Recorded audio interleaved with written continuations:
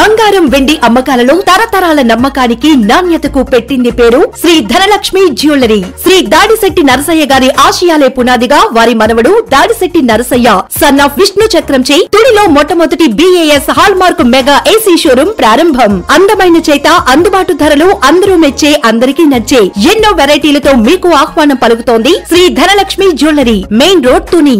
నమస్తే. Welcome to my media news. నేను కళ్యాణి. ప్రతి నిరుపేదను ఆదుకొని రాజన్న పాలనను మైమర్పించేలా ముఖ్యమంత్రి వైఎస్ జగన్మోహన్ రెడ్డి జనరంజక పథకాలను అందించబోతున్నారని ప్రభుత్వ విప్ దాడిశెట్టి రాజా అన్నారు. తూర్పుగోదావరి జిల్లా తునిపట్టణంలో జరిగిన వైఎస్ జయంతి వేడుకలకు ఆయన ముఖ్య అతిథిగా హాజరయ్యారు. తొలుత వైఎస్ విగ్రహానికి పూలమాలలతో నివాళులర్పించిన దాడిశెట్టి అనంతరం మున్సిపల్ కార్యాలయంలో జరిగిన వైఎస్ జయంతి వేడుకల్లో పాల్గొని కేక్ కట్ చేశారు.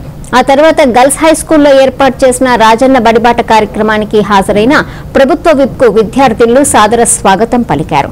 ఇక్కడ విద్యార్థులకు సైకిళ్ళు పంపిణీ చేశారు. ఈ సందర్భంగా శాసనసభ్యుడు దాడిశెట్టి రాజా మాట్లాడుతూ ప్రతి నిరుపేద విద్యార్థి ఉన్నత చదువులు సాగించాలన్న సంకల్పంతో అమ్మఒడి పథకాన్ని అమల్లోకి తీసుకొస్తున్నామన్నారు. మోతుకూరు వెంకటేష్ రేలంగి రమణగౌడ్ ఏలూరి బాలు అనిశెట్టి సూర్యచక్రరెడ్డి ఎస్కే క్వాజా తదితరులు పాల్గొన్నారు. ఒక పార్టీకి ఓటు వేసిన వాడికి మాత్రమే పెన్షన్లు గాని లబ్ధిదారులు గాని చేర్చేవారు ఈరోజు రాజన్న ప్రభుత్వం రాజన్న జయంతి సందర్భంగా మీ అందరికీ నేను మాటిస్తున్నాను. జగనన్న ప్రభుత్వంలో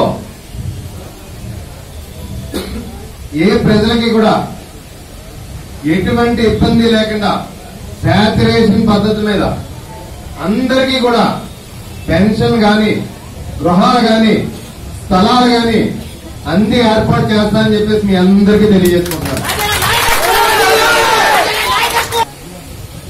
మీరెవ్వరు కూడా ఎవ్వరికి కూడా ఒక్క రూపాయి లంచం అవసరం లేదు. ప్రతి రోజు కూడా రేపు అసెంబ్లీ సెషన్స్ అయిపోయిన వెంటనే అవ్విన వెంటనే ప్రతిరోజు కూడా ఆరు గంటల నుంచి ఏడు గంటల వరకు పూర్తిగా ప్రజలకు అందుబాటులో ఉంటాను.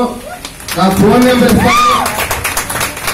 కంప్లీట్గా మీ సమస్యలు తెలుసుకుంటాను ప్రతిరోజు సాయంత్రం ఆరు గంటల నుంచి ఏడు గంటల వరకు. నా ఫోన్లో మీకు అందుబాటులో ఉంటాను. మీ సమస్యలన్నీ పరిష్కారం చేస్తానని చెప్పేసి మీ అందరికీ తెలియజేసుకుంటాను